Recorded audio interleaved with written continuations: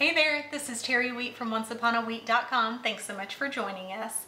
I am going to talk to you about avocados and guacamole today. I've been to Mexico a few times. I love Mexican food and for my whole life up until about a year or two ago I thought that I did not like guacamole at all and my husband thought the same thing until we tried it homemade. We had had it at a number of restaurants and I'm sure it's probably homemade at those as well but the way we tried it was amazing and I think I have the tips to help make yours amazing too and I think a lot of people avoid um, trying to make it with avocados because they're not sure when to um, buy those when they're ripe and so when I go to the store these are a little riper than I usually like because we had these for something else and didn't end up using those. But when I look in a store for my avocados, I'm looking for a deep purple color and it's going to be like the color of a ripe eggplant. That's what I'm looking for.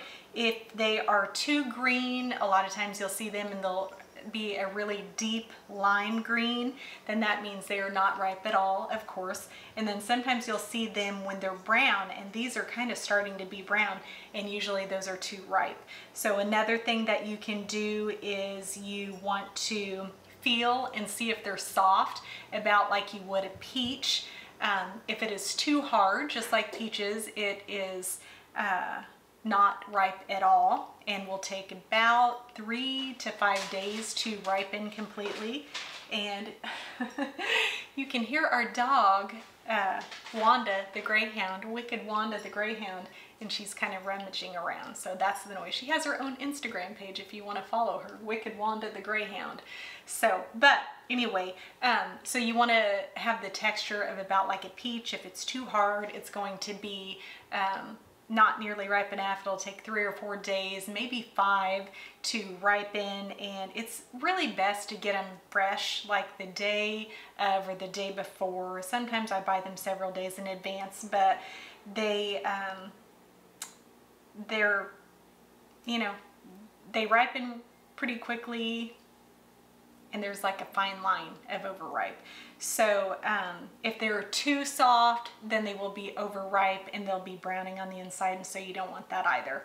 So another thing that you can do, and I don't have them on these, but there's usually a little stem and it's right here and you can pop that out. I don't like doing that in the store because other people might want to do that. I don't like touching other people's fruit if I can avoid it, but if you're a total beginner and you cannot tell and you're unsure without doing that, you can pop the little stem out and right there in the center, you'll be able to look at the color. If it's a bright, pretty kiwi green, that's what you're looking for. That means those are perfectly ripe and those are ready to be used either that day or the next day.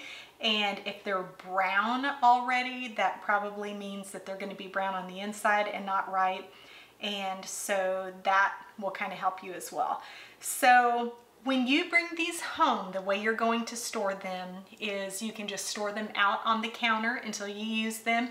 You do not want to put them in the refrigerator because you could keep them in there for weeks and they would not ripen. They would stay green, they would stay hard, and before I knew, I left them in there for weeks and weeks and they never did ripen. So you don't want that. If you buy them, but you need them to ripen more quickly than you thought, if you bought these for three or four days out or maybe five, and you needed those to ripen much more quickly, you can put them in a paper bag. That will help and close up the paper bag so that the gases that uh, it emits will help it to ripen.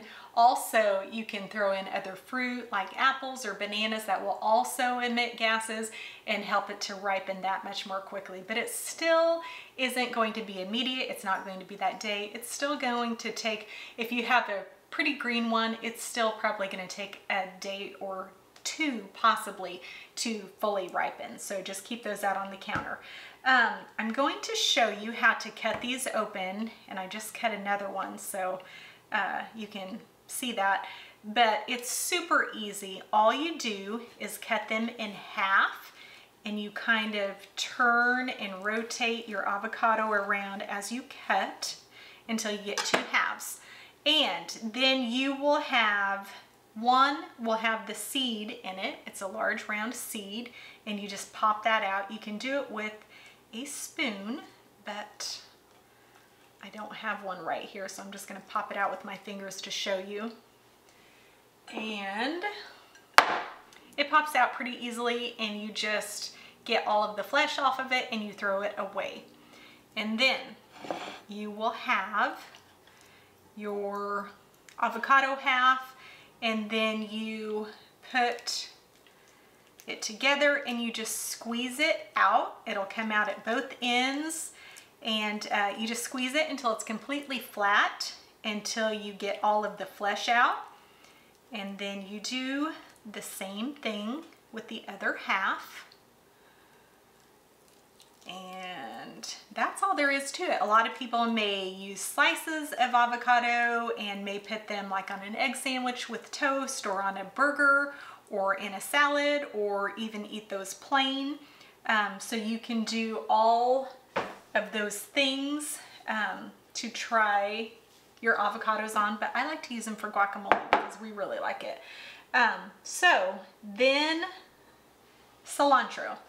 I love cilantro. Not everyone does, but a lot of people who like it like to use fresh because it has, just like most herbs are better fresh, not all, but most are better fresh. And if you like cilantro, it gives you more of that um, stronger flavor and it's a really good uh, green, fresh flavor.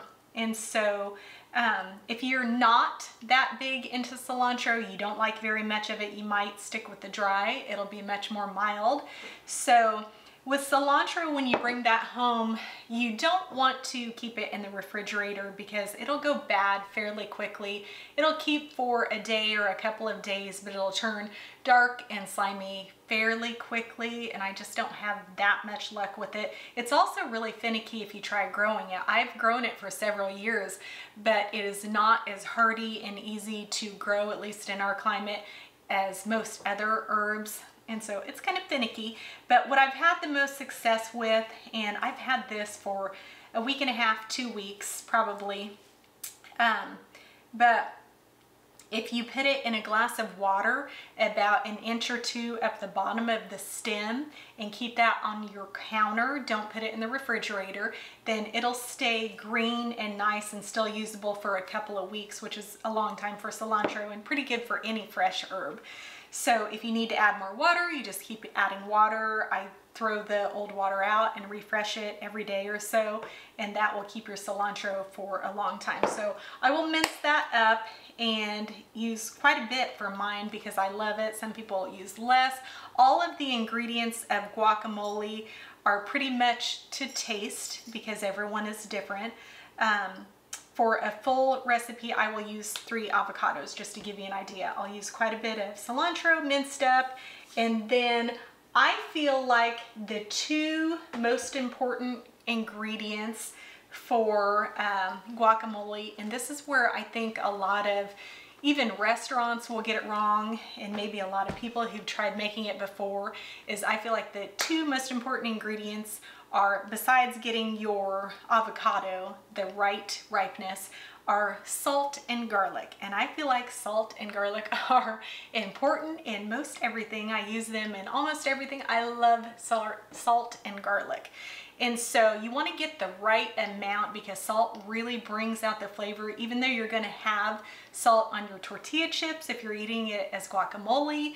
Um, you know, you want enough salt to uh, have it bring out the flavor. But you can't taste that and test it when you're making it because it's gonna take hours for the flavors to meld. And so you wouldn't want to taste that to see if you need to add more until it's been several hours. So garlic, there are three options that you can use for garlic. And my favorite is, of course, fresh. I feel like fresh is almost always better and uh, especially with garlic and I just chop off both ends. I take the skin off and then I mince it with my garlic mincer press. And um, then I will put a few cloves in there. But if you don't have fresh garlic, you can also use, if you're in a big hurry, you can use the jar garlic. I still think that's pretty good.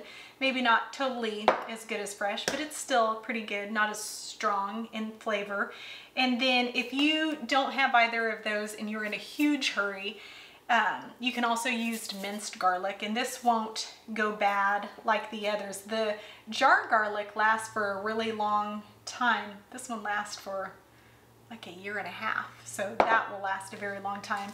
Fresh garlic can last several months in your refrigerator if you, I keep mine in a baggie and I put a dry paper towel or napkin and you need to change that out about once a month or so um, to make sure because it'll absorb the moisture and if you don't put those dry paper towels or napkins in with it it will keep creating moisture and then eventually it will mold and rot and soften into mush and you won't be able to use it. And so that's how you can keep your garlic for a really long time. Just keep it dry in the refrigerator. Some people just keep it in a dark place like a potato bin or even hanging or in a basement or something.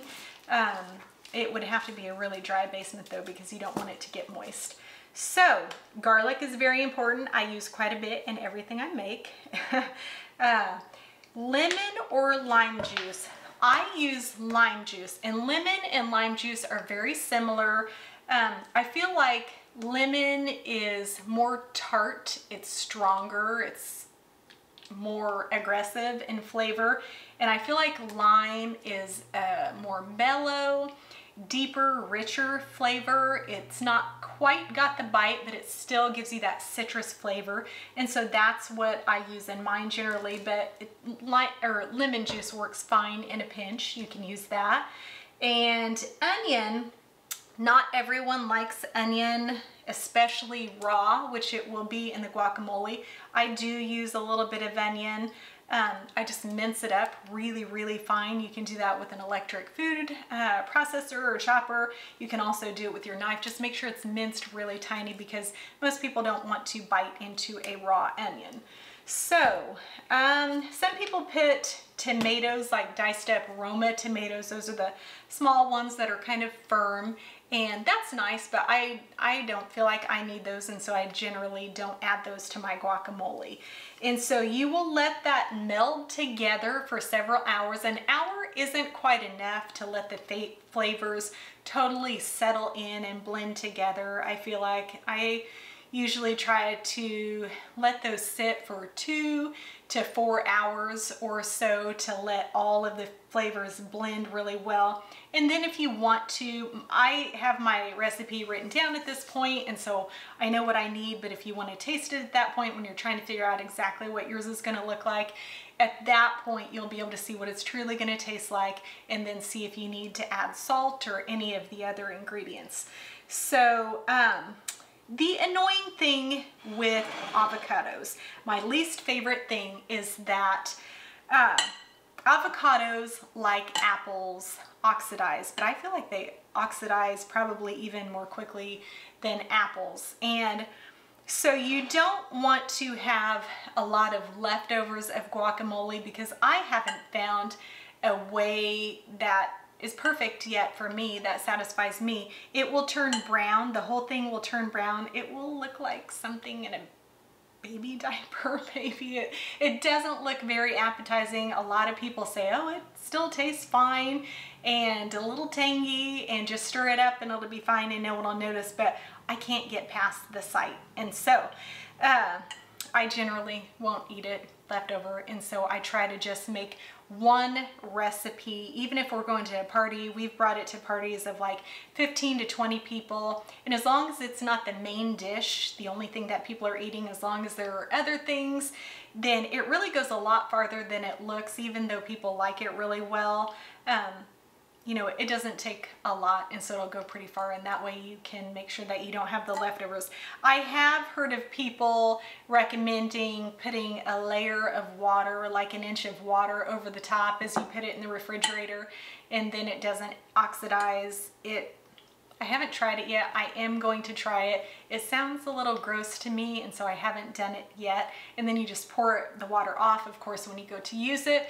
But I am desperate, so I'm gonna try that sometime. I have tried another recommendation that people say is to put saran wrap not just over the top because if you just put it over the top it's going to oxidize but to press it down and so that you get all of the air bubbles and so that it is not getting air, but even that, it still oxidizes overnight. So anyway, I try to get it fresh generally, and I try not to make too much that it won't get eaten.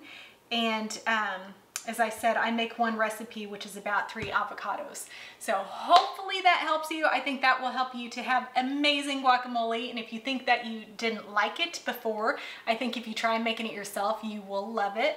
Um, so hopefully these uh, tips helped you and give the video a like if you thought it was helpful. Subscribe to our videos so that you don't miss any of those. We do a wide variety of videos. We have a travel blog at onceuponawheat.com and you can come there to see our travel uh, blog articles. We go all over the place and we are adding those every week and so you can um, see more of those. Those are helpful things. But our YouTube channel, I just do all kinds of things, whatever I think will be helpful or useful to you. We're also available and would love to see you on social media. We have Facebook and Pinterest and Instagram, and now we just started Twitter.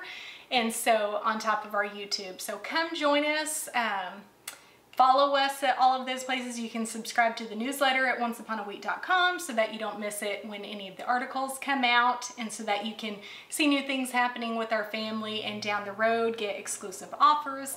And so we appreciate you. Thanks so much for joining us and I will see you very soon.